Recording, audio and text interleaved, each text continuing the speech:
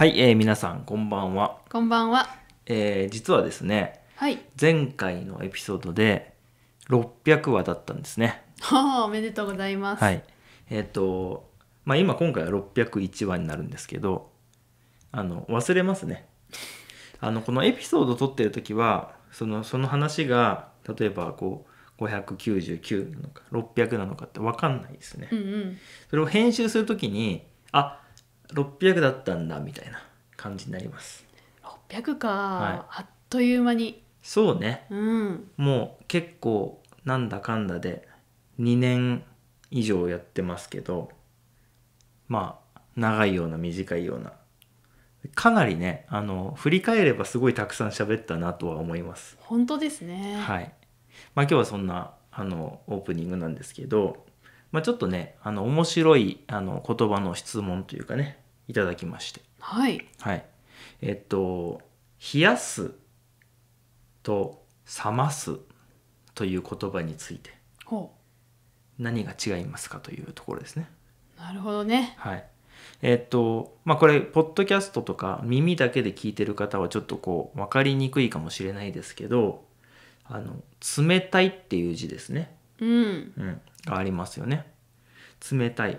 温かい冷たいの冷たいっていう漢字を使って、あの、その、冷やす、そして冷ますっていう、両方とも同じ漢字なんですよ。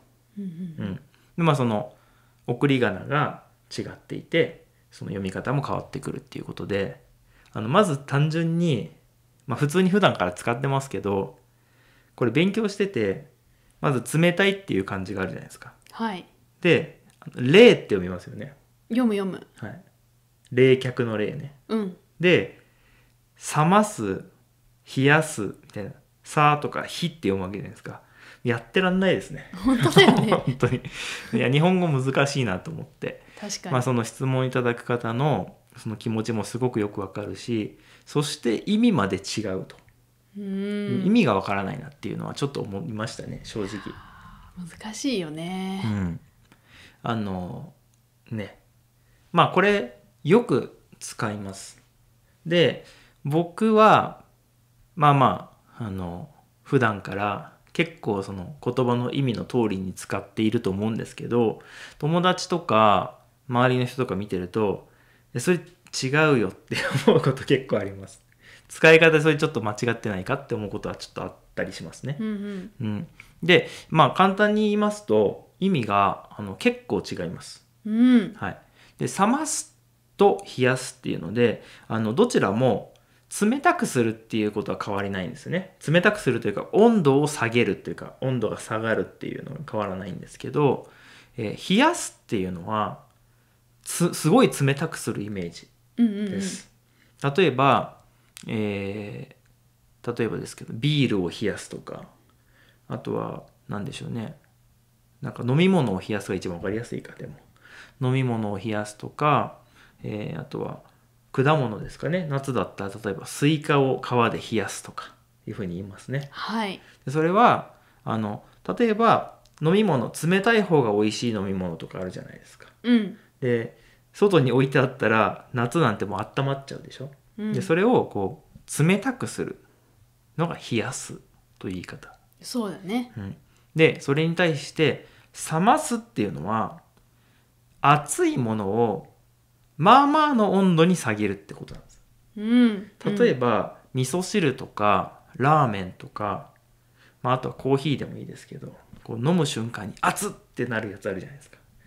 熱すぎて飲めません。食べれません。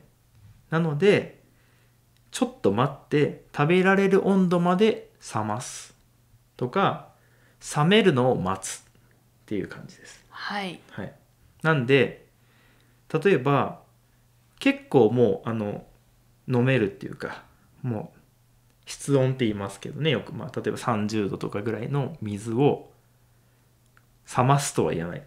もう冷めてるって感じ。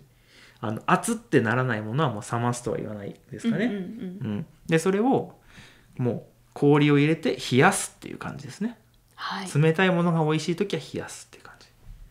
あとはまあその熱ってならないにしても、まあ、料理とかしててあのあるじゃないですか。この温度ぐらいになるまで、えー冷ますとかありますよね、うんうん。熱々とかではなくてその料理をしていく中で今のこの温度だとうまく混ざらないからある程度温度が冷めるまで待ってから混ぜるとかありますよね。うんうん。なのであの似てるけど結構意味が違う。そうだね。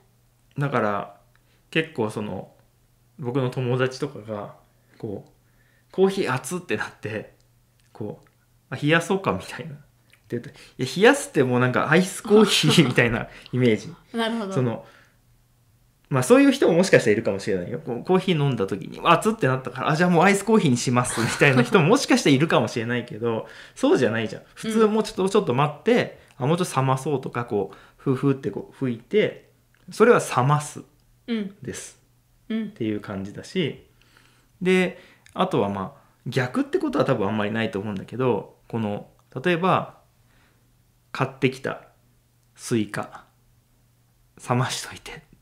ほいやもうあのもう十分冷めてますみたいな感じです。う確かに。でそれをもう食べ美味しく食べる冷たくあのよくキンキンになるまで冷やすとか言いますけどねそのキンキンっていうのはもう氷ぐらい冷たいっていうイメージですけどそれはもう冷やすっていうことですね。そうだね。うん。あの最近あの質問というか意見で2人でもっと喋ってほしいというか、うんうん。なんで喋らないんですかみたいな はコメントもらったんで、はい。えー喋ってほしいなとも思うんですけどどうですか？そうですね。私もね間違って使うことがたまにありますね。ありますね。そうなんです。はい。それでそれ違うよってよく言われてあ、うん。そうかそうかと思うんですけど、まあ日本語のポッドキャストやってますからね。そうですね。そういうところちょっとアンテナを結構最近はねその言葉のやつは気をつけてますけどね。そう。だからちょっと注意しておかないとと思って、うん。うん。でもね難しいと思った、うん、うん。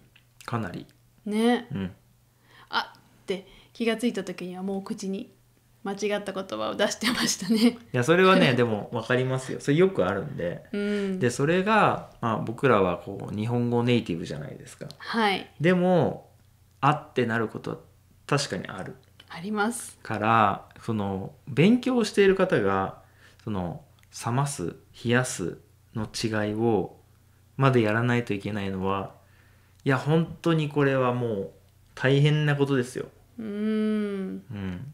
まあ、言葉が違うのはしょうがないけど漢字が一緒っていうのがねそうだ非ね常に難しいなっていうのは思ってますけどね。小さい頃からのね感覚で覚えてきたものなのでうん、うん。ね間違えることありますしそうだね。ねただでも僕の中の感じで言うと半分ってことはないけど結構な人が間違って使ってると思います。あ本当？うん、だってまあ使ってまあ私がね。そうそうそううんだからまあそうねそのまあ勉強されてる方も、まあ、みみんながねあの日本の人たちがみんなすごい完璧に使い分けてるわけじゃないんだよっていうのもありますかね。そうだよね。まあ、なので、まあ、それぐらいの気持ちでこう頑張って覚えていっていただければいいなと思います。うん、はい、ということで今日もどうもありがとうございました。ありがとうございました。また次回もよろしくお願いします。ではでは。